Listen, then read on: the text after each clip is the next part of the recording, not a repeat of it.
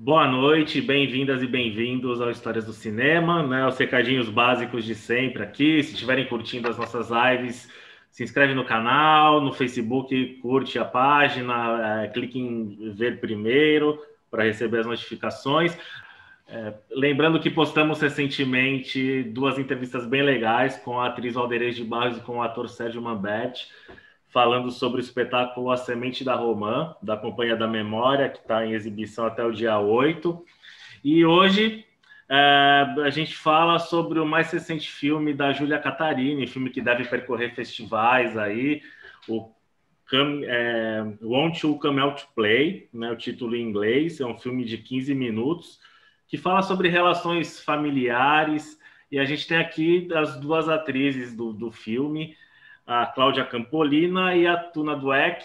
É, Bem-vindas, é, obrigado por toparem conversar com a gente aqui. Eu já queria começar perguntando é, como é que foi é, essa adaptação, fazer um filme num momento onde está todo mundo isolado, é, tendo que é, se filmar, como é que foi esse processo?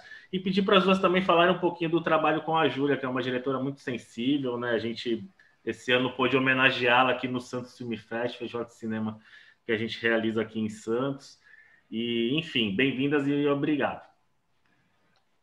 Acho que a gente pode começar com a Tuna e depois a Cláudia. Nossa, que honra! Eu estava esperando assim a Claudinha. Primeiro, é uma honra estar com você. Obrigada, André, Claudinha. É, eu, eu não tenho muito protocolo, não, assim, sobre o que é, começar a falar. Eu vou, eu vou deixando o jogo, né, de dentro para fora, assim, porque acho que é o que a gente está vivendo. A gente está vivendo um momento tão circunspecto de coisas acontecendo tanto dentro da gente.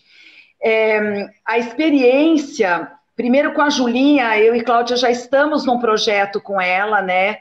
É, de um longa. Então, a, já tem, para você filmar com a Júlia, é necessário que você já tenha uma relação pessoal é, antes de filmar com a Júlia, porque a Júlia é uma mulher que filma com as pessoas que ela ama, que ela admira e que tem a mesma linguagem emocional que ela. É, ela é uma mulher que sempre assumiu que ela é uma autodidata, é, que ela não foi fazer faculdade de cinema, então ela foi é, aprendendo a usar as ferramentas é, da melhor maneira possível. Isso é muito reconfortante, porque é um posicionamento muito genuíno frente ao trabalho, sabe? Sem nenhuma pretensão, sem nenhum. É, como é que eu vou dizer? Nenhum posicionamento pré-estabelecido intelectualmente ou esteticamente, né? Tanto que, quando você vê o resultado, é de uma sofisticação, né, André e Cláudia, porque vem do mais verdadeiro da Júlia. A Júlia não quer provar nada para ninguém. E o cinema dela é muito pessoal, eu diria, é um cinema autoral, né, que é o que faz muita falta. É, fazer esse filme específico, é, para mim tem várias vertentes. Depois eu vou falar um pouquinho do que é usar essa ferramenta online, virtual, essa coisa que eu rejeitava muito no início, né, e que pode ter resultados incríveis. Primeiro, a Júlia, por ela ser, obviamente, uma cineasta transgressora, o que, que ela faz? Ela inverte os papéis. Então, ela pega a Virginia e Vanessa, e, e a, a Vanessa era a deprimida, era a frágil, era, não sei se você viu o filme, hum, André. Então, ela faz essa inversão. No filme, a, a Virgínia, que é a mais frágil, né? Embora a, a Vanessa morra, mas a Virgínia, ela coloca aquela coisa assim, poxa, a minha mãe gostava mais da minha irmã do que eu. O meu pai e eu não sabíamos como lidar com o afeto que minha mãe tinha pela minha meia-irmã. Então, ela faz um pouco essa inversão que eu achei muito interessante, aonde ela foi colocar a fragilidade, né? É, é, sendo que é, eu tenho um, particular amor assim pela, pelos livros da Virginia Woolf, principalmente as ondas, né, onde ela ela descreve muito a depressão, né, Cláudia? Eu nunca, quando eu li, eu falei, meu Deus do céu, como é que pode uma pessoa é, ter tanta propriedade literária? Porque você tem propriedade emocional, porque você vive a coisa, mas você conseguir é, escrever sobre isso como uma Clarice Lispector, uma Virginia Woolf, então a, a Júlia já pega uma coisa bastante sofisticada, que é o universo dela, ela pega o, o, o título, é uma música dos Beatles, né, do Dear Prudence. Então, você já vai entrar em contato com um universo tão delicado da Júlia, é, tão pessoal, tão, tão elaborado nesse sentido dela, dela escolher muito bem. Ela sabe o que ela quer, é impressionante, André. Ela sabe exatamente o que ela quer. E não porque nós estamos à distância que ela não te dirige milimetricamente. E não é na forma, ah, faz um pouquinho assim, um pouquinho assado. Não é um teste de comercial. É fazer você achar o mais orgânico, essa verdade cênica. A Júlia é assim. Ela persegue a verdade cênica em tudo. Quando ela foi me ver no teatro, nós tivemos assim uma empatia. Ela ficou me esperando depois do espetáculo. Ela falou coisas. Eu falei, meu Deus, Júlia, parece que você vai todo dia ao teatro. Parece que você sabe como eu construí a personagem, porque ela escolhe, não é, Claudinha, os atores dela, porque ela sabe aonde ela quer ir com aquele ator. Então, é uma experiência muito rica, André. Esse longa no qual a gente está e que foi interrompido pela pandemia tem também essa característica. Ela escolhe os atores em função daquele personagem, porque ela sabe exatamente. Ela não sabe onde a gente vai chegar, porque a criação artística ela vai se fazendo no decorrer do filme, da peça, você vai descobrindo um monte de coisa, mas ela, como diretora, ela tem é, um, uma mistura de objetividade com delicadeza. Então, é uma experiência muito rica. Agora, voltando à ferramenta que eu jamais achei possível chegar nesse resultado, nesse aprimoramento técnico, é, emocional, estético, né? O João Carlos, o João Marcos de Almeida também fez um, um, deu um tratamento, a finalização é incrível, a sonorização. Eu não achei que com o celular, à distância, com o ring light, você conseguisse, né? A Claudinha está concordando, graças a Deus, conseguisse extrair tanta verdade, porque eu tenho feito leituras teatrais online. Teatro é uma coisa, que você se permite ir nesse jogo e sem medo do exagero. O audiovisual não adianta, você tem que ter uma contenção e você tem que ter a verdade no olhar ou na voz, você não tem os gestos, você não tem o corpo, você tem isso aqui. Eu tenho que ser verdadeira aqui. Eu tenho que chegar para você, André, assistindo o meu filme e ser verdadeira para você. Eu tenho que ter você como um interlocutor. Então, a Júlia conseguiu é, essa qualidade, é, essa, essa mudança qualitativa, digamos assim, nessa ferramenta tão limitada que é um celular, que é uma câmera de celular. E aí você começa a ver que você pode sim se comunicar através de uma maquininha, se você souber o que você está falando, por que você está falando, qual é o objetivo daquela cena e com quem você está falando. Porque, obviamente, eu conheço a Cláudia, eu tenho uma relação afetiva com a Cláudia, mas poderia não ter e chegar no mesmo resultado. Isso é direção. Uhum. Isso a gente tem que dar o crédito à direção, sabe?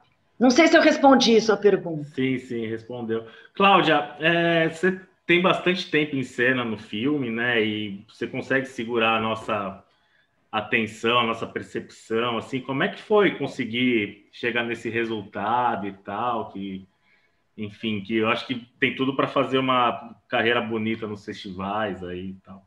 Estamos torcendo, né, Tuna? Nossa! longa e linda. É, então, assim, é, voltando à sua pergunta anterior, porque eu acho que, uhum. que emenda nessa, é, primeiro que a, a, coisa de filmar à distância, é, acho que tem sido uma descoberta para todos nós atores que começamos a ter que começar a treinar né, o nosso olhar de cineasta também o nosso olhar de, de fotógrafo. Então, é como você começa a executar muitas funções ao mesmo tempo. Então, você não, você, você, a gente estava acostumado a estar tá preocupado só com a nossa execução de ator, de atriz. E, de repente, a gente tem que pensar se a luz está boa, se o, plan, se o enquadramento está do jeito que a diretora quer, se, se a gente está fazendo o que a diretora quer, porque é uma, é uma direção à distância. Né? Então, algumas coisas, a, a Júlia não estava falando comigo ao vivo. Ela me passava, eu gravava, mandando pra, mandava para ela, ela me devolvia. É, então, é, é, é, um aprendizado. Eu já tô, eu, eu aproveitei a quarentena para produzir muito material online, coisas, um besteirol, assim, também, muita coisa de comédia curta, brincando com a situação do mundo e tal, mas também coisas mais densas, como um outro curta que eu fiz.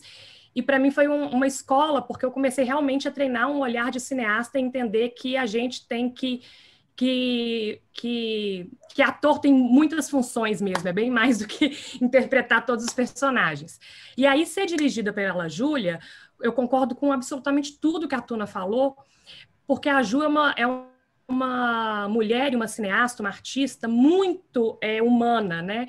E, e, os filmes dela são exatamente filmes que falam das relações, que falam é, dos personagens. Ela é muito preocupada em escrever grandes papéis para os atores dela, para as atrizes dela. Ela tem esse amor pela, pela interpretação, pela nossa arte.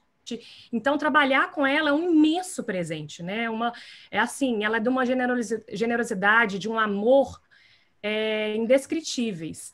E como a gente já tinha a coisa do Naked Cake é, rolando, a gente já estava num processo muito, muito íntimo, né, Tuna? Igual você falou de essa coisa da relação próxima, que não tem, não é uma relação fria só profissional, é muito além disso. É quase como se fosse um grupo de teatro fazendo é. cinema. É. Né? A gente tinha encontros maravilhosos e tal. Então, é, por eu já estar nesse contato direto com a Júlia anterior ao filme, é, isso foi mais fácil, porque a gente já estava se escutando e entendendo que tipo de história que a gente queria contar junto. É, e, e, a Júlia é uma pessoa que a gente sabe que tem muito conhecimento de cinema, é, muita certeza das coisas que ela quer contar, do cinema que ela quer fazer, e ela passa isso para a gente, com muita segurança. E isso dá para a gente uma, uma segurança também. Então, fica mais fácil você fazer a distância, apesar de ser muito difícil você absolutamente sozinha estar tá ali executando sem saber se é aquilo ali, se o pacote é o que a gente tem que entregar. Acho que é isso. Uhum. É, e da questão da pesquisa para os personagens e tal, como é que como é que foi esse processo assim de chegar no resultado tão intenso da sua personagem e tal? É, então, a Ju, ela, ela por ser uma cinéfila, né, além de, de, de, artista, ela tem muitas referências. Então, ela vai passando referência, assim, que não acaba mais. Então, ela me deu muitas referências de, de atuação. Ela falou muito do estado emocional dessa personagem, da coisa da melancolia, dessa personagem que tem uma relação é, diferente com cada pessoa da família e com o relacionamento dela também. Ela tem um lugar de ela é uma personagem que tem algum nível de maturidade, que está num processo de amadurecimento, que tem um ciúme da mãe com a irmã, uhum. que tem um amor e uma, e uma admiração pelo pai, e ao mesmo tempo uma mágoa imensa por esse, porque esse pai não soube lidar com, com essa outra filha, né, que é, que é a personagem da Ju. É... Então foi isso, foi um trabalho de, de pesquisa, de entender o tempo. Ah, uma coisa do tempo, que isso é uma coisa que a Ju fala muito comigo. Eu sou muito, eu sou para fora, eu sou falante, eu sou ansiosa, eu falo muito rápido. E a, a, a minha personagem, a Virginia, ela tem um tempo mais lento, uma coisa mais é, que vai digerindo mais. Então eu tive que abaixar um pouco a minha, a minha, o meu estado natural e encaixar nessa coisa que o silêncio existe, que ela está num, num, que existe uma crise existencial acontecendo, que é quase como se, se a pandemia, que é o pano de fundo da história, fosse também é, é, fosse um, esse vírus também tivesse nessa família, nessa né? coisa que isola. Essas, essas personagens estão absolutamente isoladas em vários níveis. Se não tivesse a pandemia, elas já, já estariam isoladas. Então a gente foi ter, teve que trabalhar bem essa coisa dos tempos e do silêncio e da sensação sem, sem a fala, sem, sem, sem carregar demais. Uhum. Legal, gente. Eu queria saber, né, desse momento. Ah, queria falar uma ah, coisinha. Ah, desculpa. Ah, é Não, porque eu estava no mudo, desculpa. E uma coisa da, das personagens que é o seguinte: é, a gente foi assim para lugares muito muito profundos, eu acho, porque primeiro você trabalha em comunicabilidade, né? Então você trabalha em comunicabilidade a, a filha com o pai, a mãe com a filha, etc. Mas você trabalha em comunicabilidade que a gente está vivendo hoje. Isso que é, é essas camadas da Júlia, é, é quase uma metalinguagem, né, André e Cláudia, porque ela vai usar uma, uma realidade que a gente está vivendo é, e, e, e, faz essa simbiose, quer dizer, tem essa incomunicabilidade no filme, tem incomunicabilidade, eu não posso tocar vocês, né? E no caso da mãe, eu não preciso ter perdido uma filha, ou uma meia, uma enteada, whatever. Eu tenho o sentimento da dor dentro de mim, eu tenho o sentimento da perda, do abandono dentro de mim. Então, a Júlia, ela faz a gente é, ir para esse lugar que tem, eu sempre falo que todo mundo tem uma gaveta secreta, que tem dores quase que intransponíveis. Todo mundo tem. Não interessa, é, é homem, mulher, bem-sucedido, não, importa. Você tem uma gaveta e você de vez em quando perde essa chave. Mas de vez em quando você precisa dessa chave, você tem que abrir essa gaveta e você tem que pôr para fora, você, você tem que verbalizar. Nós temos sorte por sermos artistas e porque a gente pode colocar para fora em forma de personagem, em forma de, de, de livro, de filme, de, de espetáculo teatral, não importa. A gente tem esse, esse dom, esse privilégio, esse, essa dádiva de poder materializar tudo que está lá dentro. Então, essa gaveta, a Julinha, o que, que ela faz? Ela fala assim: vai lá buscar a chave. Ah, não quero, vai buscar a chave. Aí você vai lá buscar a chave, você abre, e ela vai lá fazer você fuçar nessa gaveta e pegar o mais genuíno. Então, a mãe que eu faço, ela não precisa é, falar muito, ela, ela tem as entrelinhas, o subtexto. Eu gosto muito de subtexto, eu gosto muito do, do silêncio eloquente, como estava falando a Claudinha. O silêncio que fala, é o olho, é, é, você não consegue falar, porque o ser humano tem pudor de falar da sua dor. A gente consegue falar de um monte de coisa. Vai lá falar daquilo que realmente está pegando sem ter que ir lá no psicanalista. É isso. Então, eu acho que essas personagens, o do Bruno, do pai também, elas têm essa, esse, é, essa fundição muito sólida, sabe? É como quando eu falo assim, uma pessoa que faz uma crítica de um filme, eu falo, não faz sinopse do filme. Uma crítica, o que, que ela é? Ela é uma tese, um axioma que eu vou provar. É como uma equação matemática. É, o filme da Júlia é isso também. Ela tem um fundamento, uma fundição, ela tem seus pilares sólidos nos quais ela vai construir esse filme. E eu acho que é por os filmes dela. É por isso que eles chegam aonde ela quer que chegue. É, e a Ju também, ela tem uma coisa, ela, ela, ela sabe muito dos personagens que ela escreve, né? E ela tem um, um, uma capacidade muito maluca, assim, de quase ser cada um deles mesmo. Então, quando ela dirige a gente, eu acho que é disso que a Tuna falou logo no começo, dela fala que ela sabe o que ela quer quando ela dirige, né? Não é de falar, não é um teste de publicidade, é para cinema, mas ela sabe o que ela quer porque ela entende profundamente as dores desses personagens. Ela não é aquela, aquela aquela cineasta, aquela roteirista que escreve para cumprir uma coisa que ela quer que aconteça na história. Não, ela escreve grandes, é, complexos seres humanos. Ela escreve seres humanos com, com, com coisas maravilhosas, com, com coisas terríveis e com dilemas profundos. E ela sabe exatamente quem são é, é, cada um desses, dessas pessoas ali que ela, que ela, ela criou, né? É como se ela realmente habitasse cada corpo ali. Isso é muito legal dela.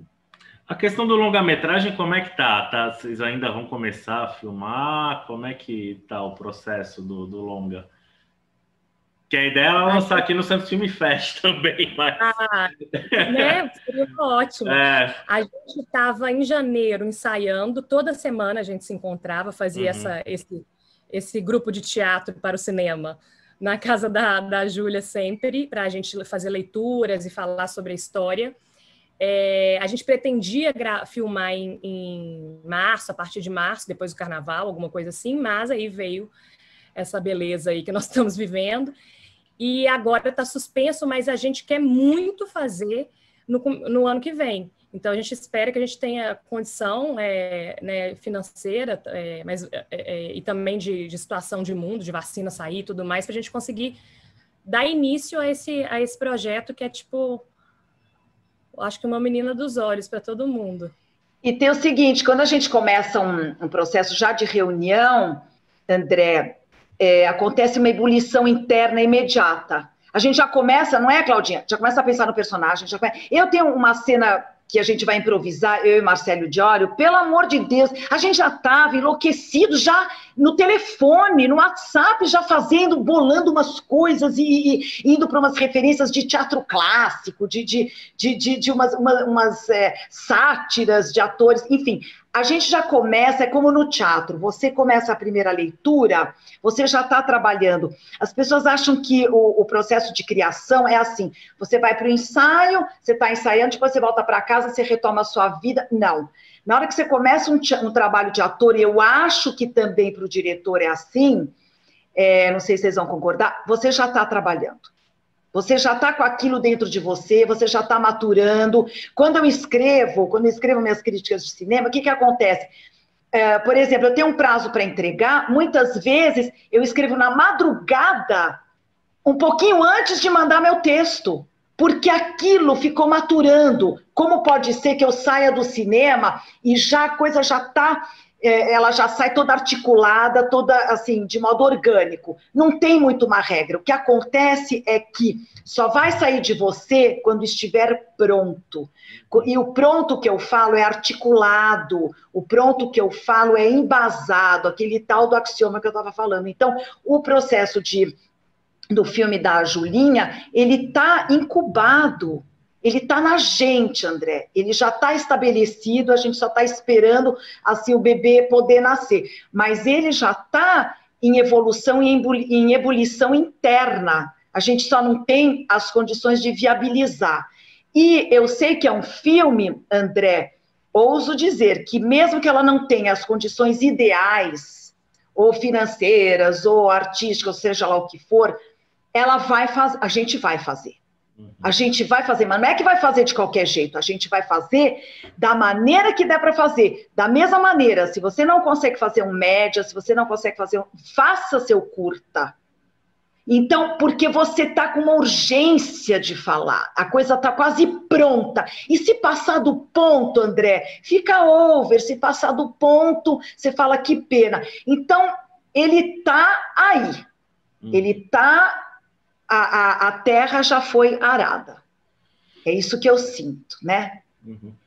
Como é que vocês, a, as carreiras de vocês duas foram afetadas com, com, não só a pandemia, porque acho que a pandemia escancarou tudo de incompetente que o governo federal tem, né? Tudo de ruim e tal, só serviu para é, deixar mais a amostra ainda. Como é que tem sido esses meses para vocês? É, você está no Marighella, que o filme agora vai, vai ser lançado só em abril, né? A gente ia trazer para o festival, enfim, ficou.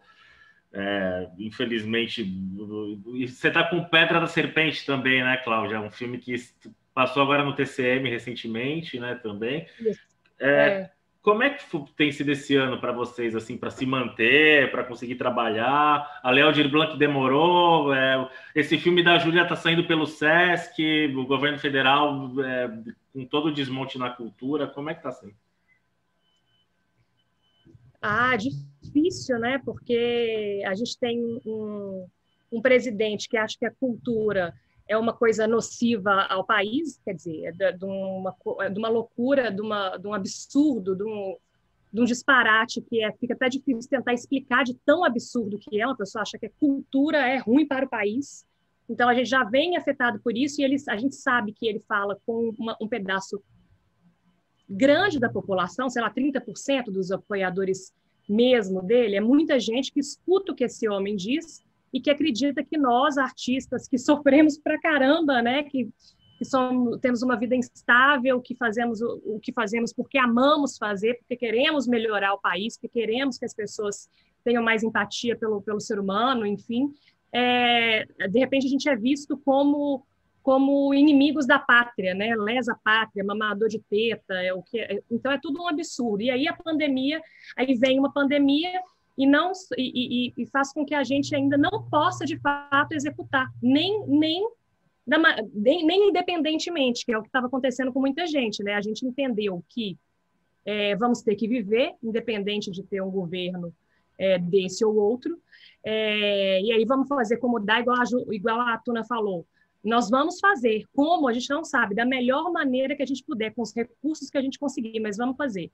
Só que uma pandemia piora a situação ainda mais.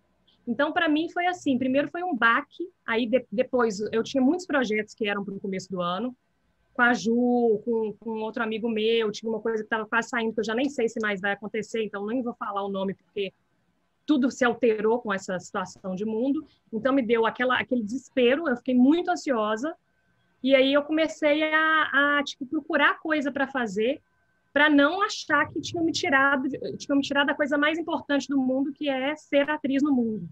Então eu comecei a fazer muita coisa em casa. Muita coisa, eu fiz um, eu fiz um curtinha que foi para uns dois festivais, aí comecei a fazer essas ceninhas curtas, comecei a voltei pra, a fazer coisa de comédia, que é o que me trouxe para a atuação lá 10 anos atrás, e coisas curtas e, e, e até besteirol mesmo, eu, é, eu, chamaria, mas que me coloca em movimento e que e, e comecei a entender que eu posso usar as minhas redes sociais para criar sketches, para criar coisas, para continuar sendo atriz, porque eu acho que o que a gente tem que fazer é resistir de todas as maneiras, resistir a esse governo, resistir a, a essa situação de mundo, resistir a todo esse, esse essa loucura dessa extrema direita mundial que, que veio deturpar toda a noção de, de, de né, das coisas como são e resistir fazer, porque eu acho que quanto mais a gente conseguir fazer, mais a gente vai estar dando a resposta que essas pessoas merecem. Uhum. É isso. Bom, no meu caso, é, Bom, é inevitável você falar da, da, política cultural, da ausência de política cultural, enfim. Eu, no meu caso, eu jamais pensei que, é, tendo passado por uma ditadura, tendo conseguido é, sobreviver a ela, ao exílio, voltar, enfim, eu pudesse de novo ver esse desmanche na minha vida, sabe? Então, é, é, é particularmente penoso para mim, assim, vivenciar isso de um do ponto de vista universal, enfim, eu não estou pensando só em mim, eu estou pensando em todos nós, eu estou pensando em você também, André, não só em, nos criadores, você também é um comunicador, então é, eu jamais esperei na minha vida ver tudo isso de novo, né? Quer dizer, você é calado é, nos anos 60, 70, você era calado, é, aí a gente passa por um período de criação, tarará, de novo você é calado. E aí, calado duas vezes. Você é calado por um desmanche, você é calado por um vírus, enfim. É, e eu estava contando aqui, eu estou em 15 projetos entre. Não, muito louco isso, entre. Filmes prontos, filmes montando, projeto de teatro, é, websérie, é, série para TV a cabo, juntando tudo, deu 15 obras, tá? Entre prontos e não prontos. Tem um filme, é, tem dois, assim, em especial. Um que eu fui filmar no Kurdistão, o ano passado, que ficou pronto agora, então estava assim, tipo aquela coisa que a gente fala, vamos para os festivais. Ir para festival não é uma questão de vaidade, ir para festival é uma porta de entrada para o mundo, para você se comunicar com milhões de pessoas, não é uma coisa elitista que fica lá no festival. Ele abre as portas. A gente está fazendo as coisas online, festivais online, bom, a gente está tendo que se moldar a isso eu, eu, ganhei dois prêmios em festivais online, por exemplo. Eu não sabia que isso existia, mas o filme está lá. Eu, eu, fiquei muito feliz. Por quê? Porque eu vi que todas essas pessoas não desistiram, elas perseveram, elas falam: não, não vai morrer na praia. Porque a gente está lidando com imponderável, a gente não controla nada. Eu não sei se o ano que vem vai voltar, não vai voltar. Então, eu estou tendo que é, driblar tudo isso. Eu estou. É, faço parte de um canal no YouTube chamado Revelando Shakespeare, que é maravilhoso. A gente toda semana recebe um convidado para falar de Shakespeare. Está sendo incrível, porque a gente está fazendo esse trabalho de desengessar o Shakespeare, sabe? De tornar acessível, Ai, popular. Você, eu vi você fazendo é, Sonho de uma Noite de Verão. Noite de Verão, e eu fiz agora a peça escocesa. Obrigada, Clau. Eu fiz agora a peça escocesa que eu não falo o nome, vocês sabem, aquela peça lá eu não falo que eu sou supersticiosa. Estou também num projeto há dois anos, que era presencial, agora está online, com a Faculdade de Belas Artes, de receber, é, convidar né, atores, diretores, é, dramaturgos para falarem com os alunos, então isso também está me ocupando muito em casa.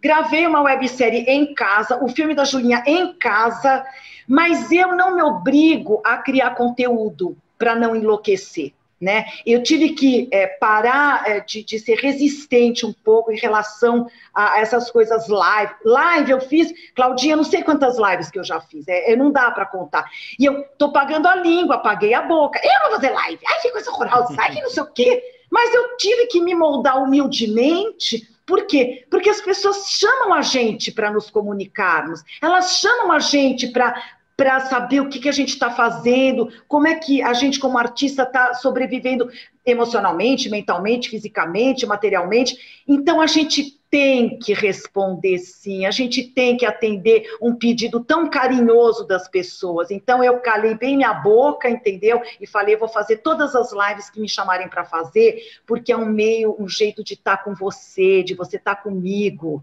sabe? e, e de, é, é, é, atrapalhado, cai o, o, o, cai o, o sinal, volta o sinal, mas é assim, né? Oi. Só porque, só porque a Tuna falou, Tuna, ficou mudo. Ficou mudo. Ela falou e que deu, deu problema. Não, desculpa, ah, é porque meu irmão, não, meu irmão veio falar comigo ah. que, é, que, que, que, ele tinha que sair, só veio me avisar. Desculpa que eu cortei aqui. É, mas é assim, né? É, caiu o sinal e tal. Então a gente está tendo que é, reaprender a se comunicar ou se comunicar com a ferramenta do desespero. Eu falei, fazer teatro, entre aspas, online é a ferramenta do desespero. Para você existir, é como a Claudinha falou, para eu existir, para não enlouquecer, eu fui inventar coisa para fazer. Só que a Cláudia faz coisa de qualidade. Mas mesmo que não fosse, a gente precisa existir de alguma maneira. Então, a, a gente está usando, de certa forma, a tecnologia para poder é, é, ter uma voz né? Oi, tá aqui junto. Como é que a gente ia fazer? Eu não suporto ping Gente do céu. Já tá gravando, ela não suporta ping-pong, tá, gente? Eu, eu, eu, fico ansiosa, eu fico ansiosa porque. Horrorosa também. É horrível, porque você quer fazer, você tem que fazer lista. E aí eu, eu. Por quê? O que a gente escolhe é tradução do que a gente é. E a uhum. gente deixa um monte de coisa é, do lado, né? Por exemplo, eu tenho, sei lá, tem dois filmes que eu adoro, mas eu vou lembrar de outro, de outro, de outro, de outro. Fala o que vier primeiro na cabeça, então. Ah, Asas do Desejo, do tá, Wim Wenders, um eu filme, adoro. Então tá, Cláudia. Não, mas tem mais, tem mais. Eu adoro Boulevard do Crime, do Marcelo Carneiro, Safon de Paradis. Não, senhor. Não, está vendo que eu não consigo? Não consigo, adoro a trilogia do Poderoso Chefão. Eu, eu, ah, eu, tá eu tenho um, um sabe, um, um, gosto super eclético. Agora, pegar Les Enfants de Paradis, né, isso que eu te falei, o Boulevard do Crime, pegar pegar a regra do jogo, do Jean Renoir, pegar limite do Mário Peixoto, pegar é, Deus e o Diabo na Terra do Sol, que eu amo, mas agora você fala assim, o primeiro que me chega, Asas do Desejo, eu adoro, e a festa de Babette eu adoro porque tem uma frase que eu amo, que é o artista não quer pobre, mas tem, tem, tem obras-primas máximas, tem, tem um, um, documentário do qual eu faço parte, que é o Cidadão Boyles, em que eu acho que está entre os dez melhores documentários que eu já vi, por exemplo, né? Uhum. Enfim, é, porque cinema para mim é isso, é, é documentário, pode ser musical, adoro West Side Story, amo, sabe? É, é, isso, tem uma coisa de geração também, né? A gente é cinéfilo, a gente viu coisas que, por exemplo, é, é não são da minha geração, mas que eu fui ver lá no Cineclube, lá atrás, cinema, cinema italiano, gente, Roma Cidade Aberta, pelo amor de Deus, Stromboli, o, o, o Persona, a Fonte da Donzela, tá vendo? Vai vindo, vai vindo, vai vindo. Você mistura o Bergman com o Coppola, com, com o Mário Peixoto, com o Glauber Rocha. É isso que a gente é. A gente é um caldeirão cinéfilo, né? Porque a gente, porque é quase uma religião, né? E, mas vai lá, Claudinha, já. Depois eu vou lá para os atores. Tá, pode falar mais de um, então, vai, Cláudia, não tem problema. Fala, Cláudia. Eu vou, ó, eu, eu, eu, com certeza vou acabar essa entrevista e vou falar: ah, meu Deus, eu não falei aqui. Claro. Que eu quero... Então vamos lá. É, Laranja Mecânica, é, Dogville, é, Sétimo Selo uhum. e os fuzis. Pronto. Pronto, maravilhoso. Pronto, maravilha. O Poderoso Chefão 3 agora... vai ser relançado agora com uma versão. Sim, sim, eu, eu vi, querido, desculpa, que eu fui ver na cabine. Ah, legal. Com todas, todos os protocolos de segurança, dica-se de passagem, é. eu chorei, tá? Eu já vou avisando que eu chorei. E, e, e, o, e no prólogo tem o, o, o Coppola que fala, né? Aquele cabelinho branco, magrinho, assim. E eu conheci o Coppola quando ele veio para o Brasil, a gente conversou muito, eu fiquei encantada, fui na masterclass dele e tal, foi, fiquei muito emocionada de ter visto na cabine, e, e, e essa, essa ida ao cinema, que eu não vou há oito meses, então, é, ir encontrar meus colegas, jornalistas, enfim, foi, foi mexeu muito e, e ver esse filme, né, que é tão emblemático. Uhum. Aí já sei que você vai perguntar das atrizes, a Cláudia não, não. Cineasta primeiro, um cineasta. Cineasta. o cineasta. eu adoro, eu adoro Bergman. É. Adoro Rui Guerra, como, como a Claudinha citou, os fuzis. É... Ah, Scorsese eu adoro. Adoro Louis Mal. Hum. Gosto muito, muito de Louis Mal. Hum... Ah, o, o Almodóvar, mas eu tô falando das coisas tão Jean Renoir, sabe? Eu tô falando umas coisas meio, meio, meio óbvias, assim. Eu queria achar um mais original, assim. Mas, enfim, já falei Mas, alguns. É um, é um, baita time aí que você passou para quem está acompanhando a gente também. E você, Cláudia, cita. Ah, eu vou falar o, cine, o eu vou falar o cineasta dos filmes que eu falei, o, o Rui Guerra, o, eu vou falar o Las Von Trier, pode ser, eu posso ser apedrejada depois de falar o nome dele, que ele é muito controverso, mas eu, ele, ele acaba comigo, eu gosto demais do, do Las Von Trier como cineasta. Uhum. É, o Bergman e o Kubrick, que eu sou muito, muito fã do Kubrick também. E aí vou falar o Bong Joon-ho, porque ah. vou falar um novo, porque, gente, o Parasita, assim, ele, ele, ele acabou comigo, esse, esse cara, com esse filme. Mas eu, e eu uhum. gosto de todos os outros. Eu gosto do Mother muito, eu acho ele um, um Hospedeiro, gênio, Memória de Assassino. Tudo, eu acho tudo que ele faz genial. Uhum. É, cinema sul-coreano é sensacional. Né? Sabe, tem John Huston, tem Hitchcock, tem, tem assim, o, o, nosso imaginário, ele é povoado de cineastas, né? Uhum. E aí você vê, você pergunta assim, de chofre, aí você fala assim, pronto, esqueci, ah, esqueci o Diário, ah, esqueci o Coppola, esqueci, sabe? Você, você vai, a gente fica frustrado depois. Truffaut, adoro.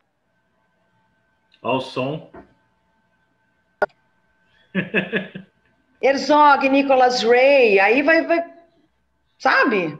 Aí são todos que você tá. Olha, tem um, tem um cine, então, tem um cineasta com quem eu filmei, que era um dos meus melhores amigos, pre, é, muito prematuramente falecido, que é o Wilson Barros. Wilson Barros, para mim, uhum. fez o, o, melhor filme sobre os anos 80 no Brasil, que chama Anjos da Noite, do qual eu participei, né? Claro que eu estou sendo subjetiva, mas são, são pessoas que talvez não se ter ouvido tanto falar, porque eles foram embora muito precocemente, né? Hum. Mas você vê, vai, vai, vão vindo, vão vindo, Jacques Tati, sabe? Eli Suleiman, nossa, vai vindo, vai vindo, porque a gente pega os clássicos, esquece os contemporâneos, pega o contemporâneo, esquece os clássicos, né? Você pega um Jean Renoir, é inesquecível. Ah, é, vou falar. Então, é, Ozu eu queria falar e Agnes Varda. Pronto. Agnes Varda. Sim, mas mas é o Mizoguchi, Mizoguchi maravilhoso. Uhum. Mizoguchi, eu vi um, um, um, ciclo dele outro dia, uma retrospectiva, que fiquei louca. Uma atriz e um é, ator, o, vai. Olavo Dias, Belatar. Pronto, achei um que você vai adorar. Belatar. O Cavalo de Turim eu vi quatro vezes. é zombre esse homem. Uma atriz e um ator. Uma atriz e um ator.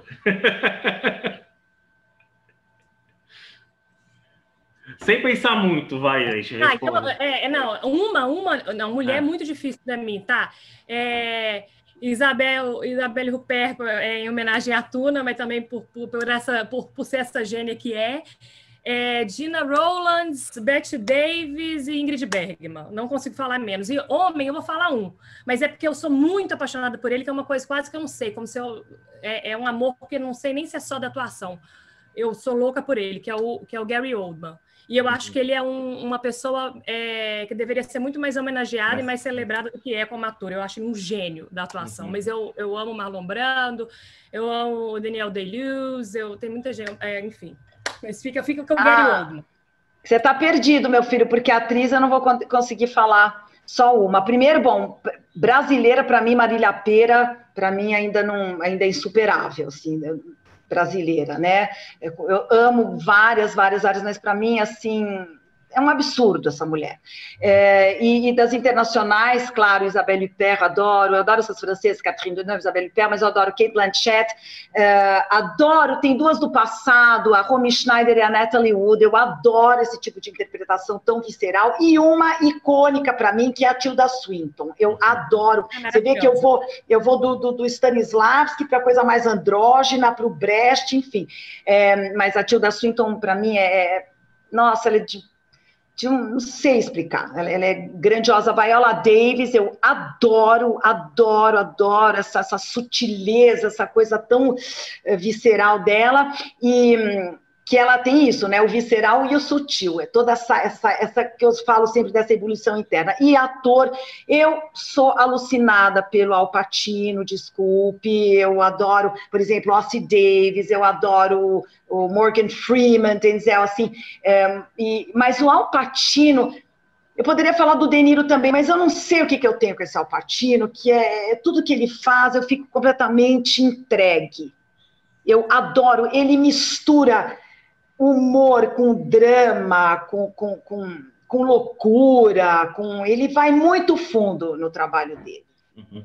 Ah, deixa eu falar, deixa eu falar brasileira, se pulamos a brasileira, eu quero falar da Cássia Kiss, que eu sou apaixonada, uhum. e eu vou falar uma, uma nova, porque eu sou muito fã do trabalho dela, que eu acho que, vai, que essa, essa mulher vai ser imensa, ainda mais imensa que a já é, que é a Letícia Colinho, eu acho ela muito boa atriz. Uhum.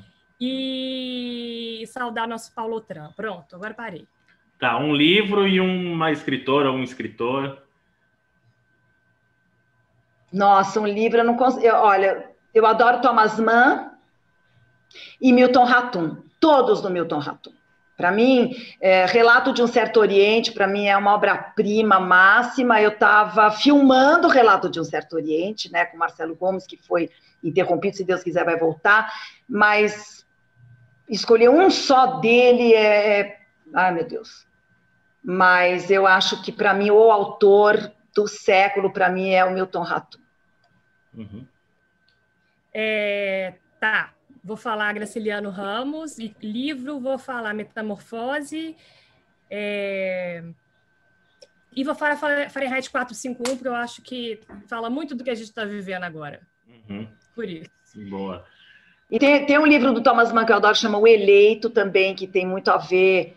É, também com o que a gente está vivendo, assim, uma coisa de, de, de ir para a nossa essência humana. Adoro.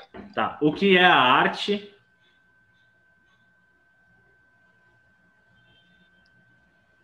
Estar no mundo, eu acho. Olha. A arte é expressar a vida. Uhum. Tá, agora eu queria saber Tuna por Tuna e Cláudia por Cláudia.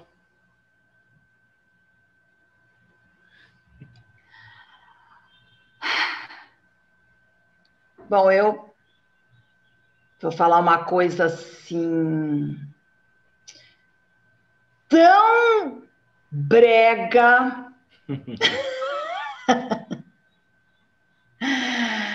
Eu acho que Tuna por Tuna é assim, é alguém que acredita que é o amor que move todas as coisas, é o amor que rege tudo, tudo que a gente faz na vida na arte, no mundo, é isso.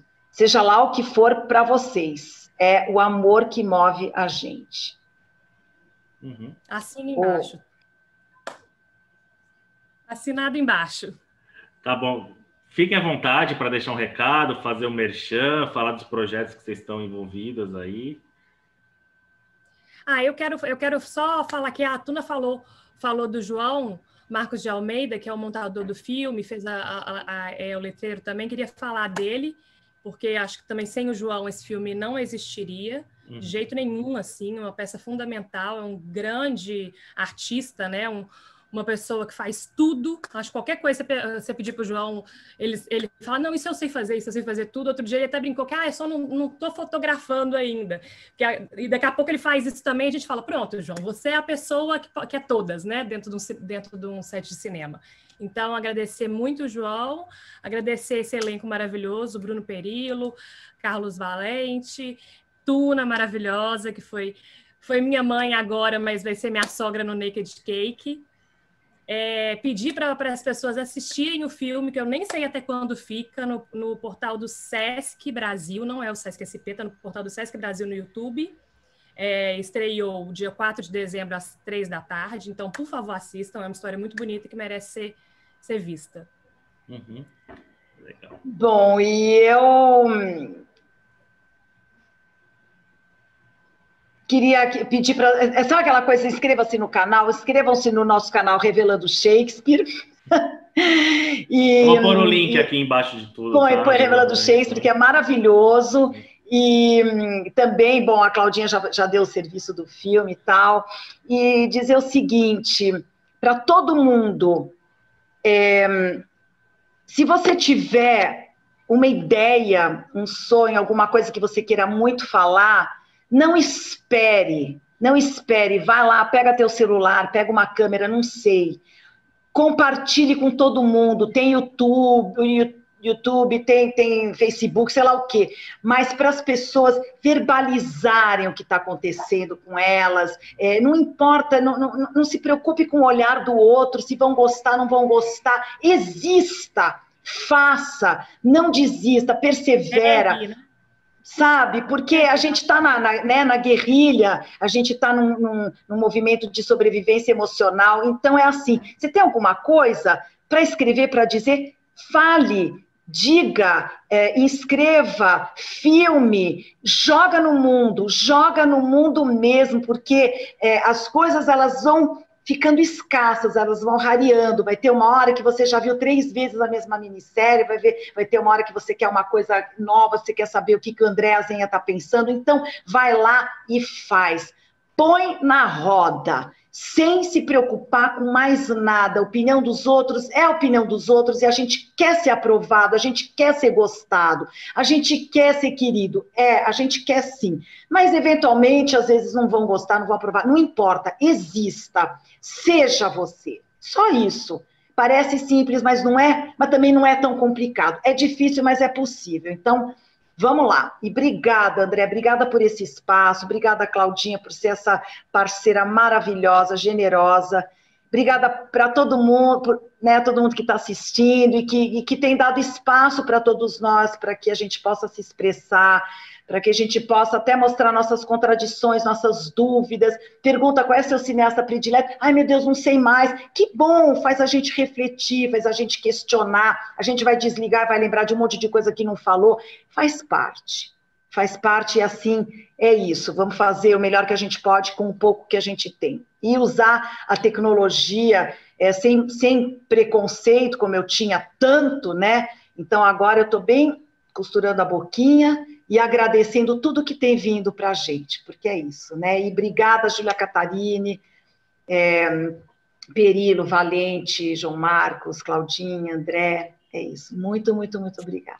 Gente, obrigado, Obrigada Tuna, obrigado, Cláudia. Eu estou colocando aqui a entrevista que eu fiz com a Júlia uns meses atrás e a homenagem também do Santos Film Fest, que foi para a Júlia, para o Sérgio Rezende e para o Paulo Betti. Foi uma super live com Uau! Aí, é. Que privilégio! E vamos torcer, né, para para o filme do Wagner Moura estrear em breve, né, em abril, Marighella, o, eu estou num curta também maravilhoso do Guilherme Andrade, com a Zezita Matos e a Fernanda Viacava, Não Me Esqueças Mesmo para Sempre, é, enfim, várias, várias coisas que estão Ah, eu estou no filme do Burlan, maravilhoso, A Mãe, que foi agora para o Ventana Sur, com a Marcela Cartacho, a Helena Inês, um elenco impressionante, ali o Cícero.